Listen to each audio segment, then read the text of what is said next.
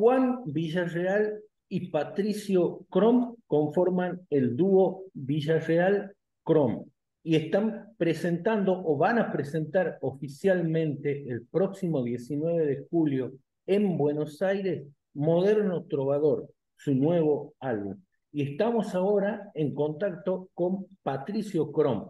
Un gusto saludarte, Patricio. ¿Cómo te va? Un gusto, muy bien, gracias. ¿Vos cómo estás?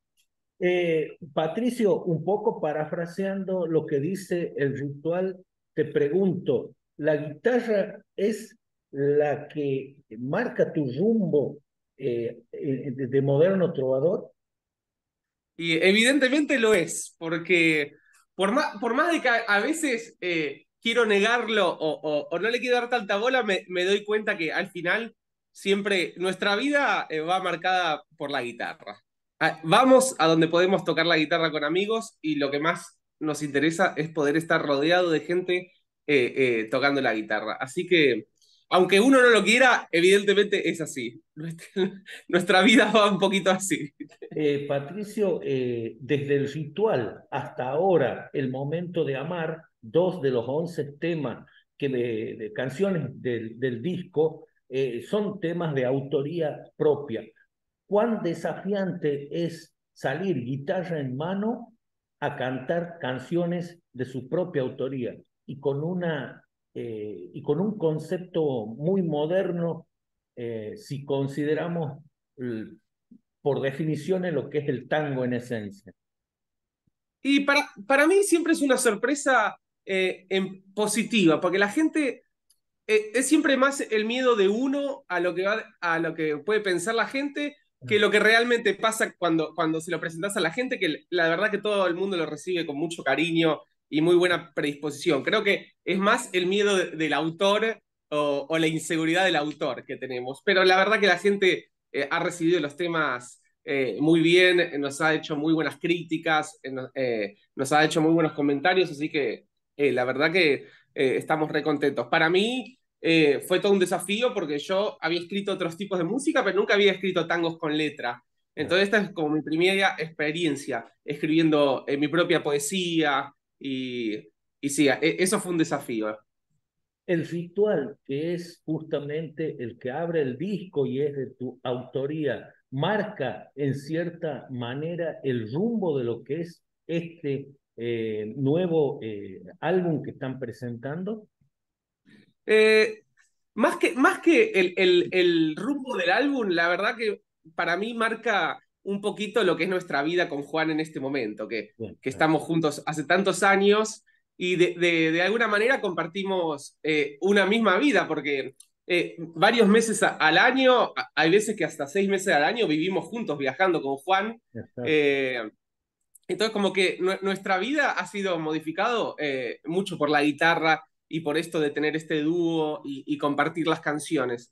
Entonces, sí nos pareció que, eh, que la canción El Ritual era un pequeño manifiesto de, que a pesar, a, pesar de que a veces las cosas no salen como uno quiere, siempre estamos los dos juntos por la guitarra, por esto de tocar la guitarra con un amigo. Entonces sí nos parecía como que, que, eh, eh, cerraba el concepto de, más de vida que de álbum. Y después el álbum eh, está un poco salpicado por todos los diferentes estilos que nosotros hemos, eh, eh, hemos ido tocando en estos años y, y, creo que lo que los une en el álbum es la, que los temas sean de nuestra autoría, porque eso hace que, que los, los, temas estén pegados por, por, algo propio que es nuestra palabra.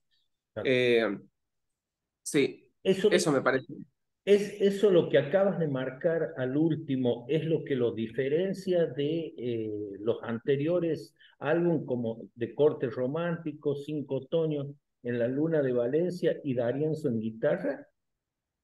Sí, eh, en, en, todos los demás discos siempre había uno o dos temas propios y, siempre los temas propios eran instrumentales míos. Hay algún tema cantado de Juan, eh, pero este, este álbum se planteó como eh, un álbum de temas propios desde el principio. Y lo más interesante y lo más desafiante para nosotros es que ninguna de estas canciones existía antes de tener la idea del álbum de temas propios.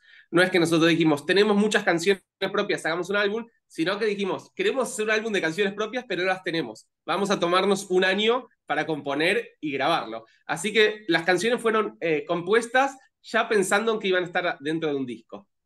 ¿En qué momento consideras eh, eh, que ustedes lograron delinear la estética y eh, el estilo del dúo?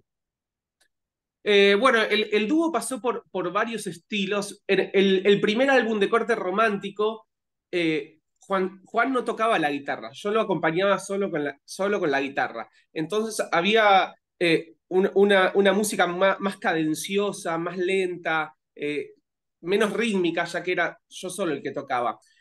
Pero, pero hubo un cambio de sonido muy grande en el disco anterior de Arienzo en guitarras, cuando Juancito pasó de tocar la guitarra a tocar el guitarrón, una guitarra más baja.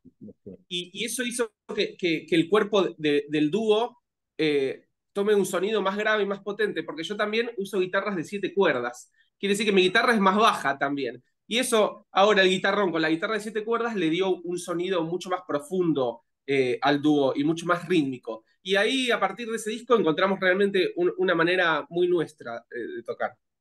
Eh, cantaron en escenarios de Europa, de Latinoamérica y fueron tapa de Tango Danza, una de las revistas más poderosas de tango de, de Alemania. ¿Cómo se vive esa experiencia en el extranjero cantando eh, un género tan, pero tan universal hoy en día. Y, pero tan nosotros siempre decimos que eh, eh, alrededor del mundo las milongas son siempre iguales. Ah. No, importa, no importa en qué país estés, vos entras en la milonga y las milongas son iguales que en Buenos Aires. es como un micromundo que se genera.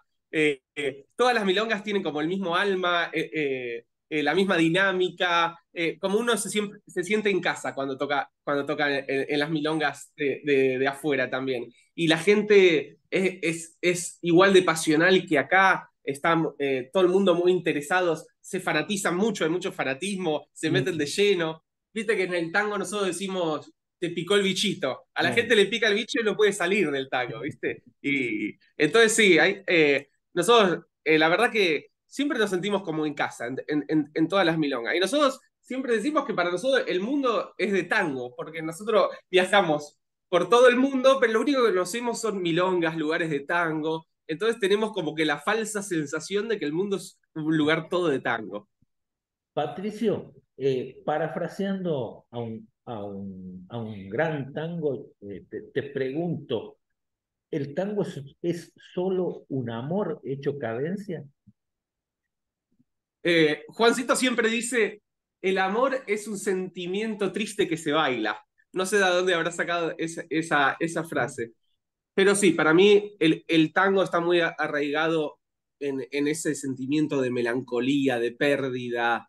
Eh, por eso es muy, muy difícil eh, componer tangos cuando uno está feliz o cuando le está yendo bien en la vida, porque eh, a, a, mí por lo menos no me, no me sale ese tipo de música o, o no pega. Y, por alguna razón debe ser que el 99,9 de los tangos son de, pérdida, ¿no? De tristeza y de, problemas. Hay un, solo un par de tangos que yo conozco que son de felicidad, la verdad. Y no sé si no son los mejores. Y en este, en este moderno trovador, de los 11 temas que lo conforman, ¿cuántos tangos son más nostálgicos y cuántos refieren a la, a la alegría de vivir y creo que a la alegría hay uno solo, que es el vals ahora de Juancito, que es como un... Eh, es, es él expresando el deseo de, dejar eh, los problemas atrás y, y, y, poder entregarse al amor. Es, es como un, un, grito de esperanza. Pero los demás son, son bastante melancólicos, la verdad, eh, todos, te diría yo. pensando en las letras, sí, son, son muy, muy de la melancolía tanguera.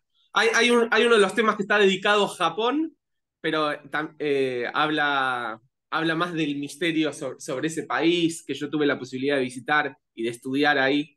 Eh, pero los demás son muy tangueros en, su discurso, la verdad. Eh, te pregunto, ¿en qué proceso se encuentra el documental que estás preparando sobre la guitarra en el tango?